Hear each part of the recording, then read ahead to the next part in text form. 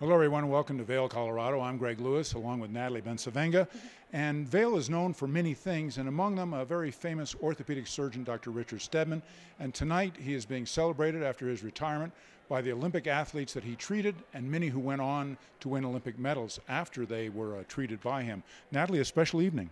It's an incredibly special evening to have them all under one roof here to celebrate Dr. Steadman and everything that he has been able to accomplish. A lot of these people were treated by Dr. Steadman and were also mentored by him. So I'm excited to see what they have to say about his legacy and about the future of both the Steadman Clinic and of SPRI.